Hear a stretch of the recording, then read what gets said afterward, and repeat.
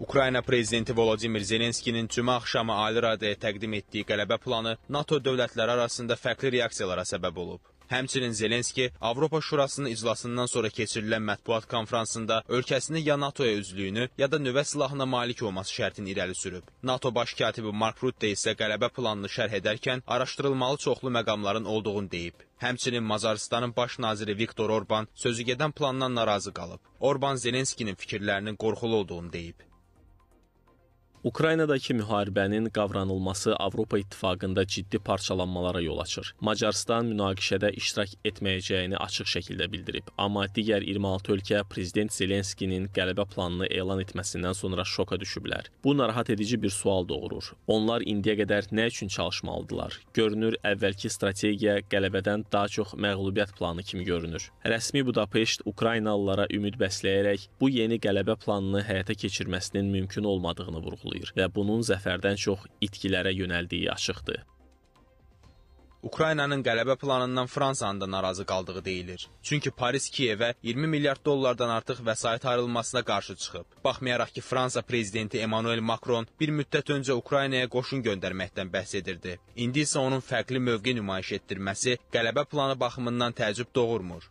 Bu sülh planını həm də Ukrayna xalqını birləşdirmək, Ukrayna yəni yorulmuş bu xalqı yenidən səfərbər etmək planı kimi də qiymətləndirilir və yaxud da bu səfərbərliyi motivasiya etməsi cəhdi kimi də dəyərləndirilir. E, əlbəttə, başqa yanaşmalar da var. Məsələn, başqa digər ekspertlər hesab edirlər ki, burada əsas məsələ Yəni Zelenskinin bu planında əsas məsələ o hücumların, xüsusilə Kursk olan hücumun ə, inkişaf elətdirilməsinə dəstək istəyir. E, o Rusiya ərazisinə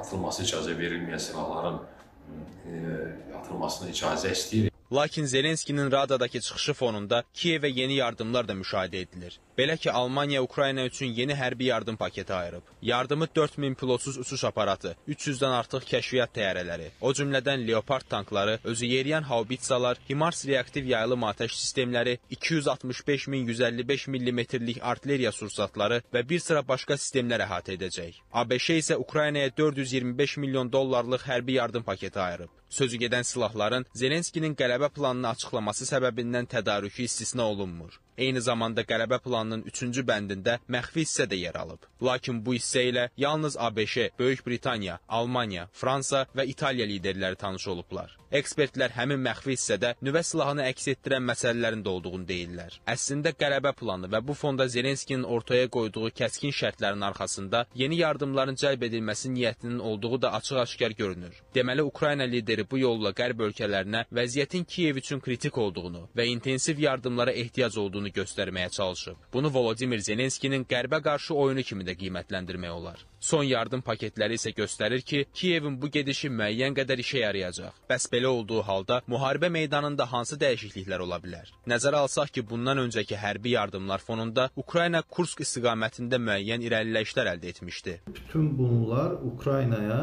yalnız və yalnız e, yerləşdiyi əraziləri qorumaq üçün imkanlar yarada biləcəyi ehtimal olunur. Heç bir halda hazırda göstərilən yardımlar Ukraynaya son həftələr ərzində itirilmiş əraziləri geri qaytarmağa imkan verməyəcək. Ukraynanın hazırda ən böyük problemi e, quru qoşunlarının və e, enerji infrastrukturunun e, hərbi obyektlərin Rusiyanın hava hücum vasitələrindən qorumaqdan ibarətdir. Digər önəmli məqamsa Zelenskinin Slovakiyaya xəbərdarlıq etməsi olub. O Ukraynanı dəstəkləməyəcəyi halda onların da Rusiyanın işğalına məruz qalacağını iddia edib. Analitiklərin fikrincə, bu Zelenskinin Şərqi Avropa, xüsusilə də Slovakiya və Macarıstan kimi Kiyevə əks mövqedə olan ölkələri razı salmaq cəhdidir.